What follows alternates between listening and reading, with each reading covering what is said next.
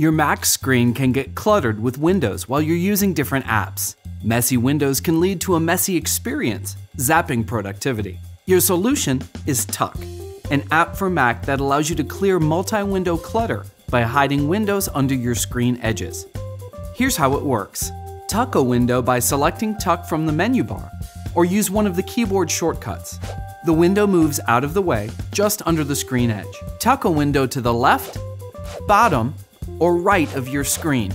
Show a tucked window by putting your cursor into the window area at the edge of the screen.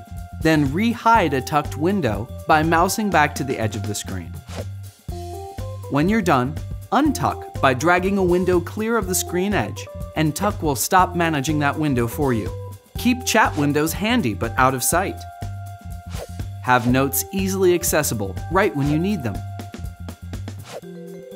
focus on the task at hand and access your resources just when you need them with Tuck. Double or triple your available screen space using Tuck with Cinch or SizeUp to first resize and position your window. Now that your screen is organized, use Tuck to get the windows neatly out of the way. Decrease your window clutter and maximize your productivity. Download Tuck today at irradiatedsoftware.com.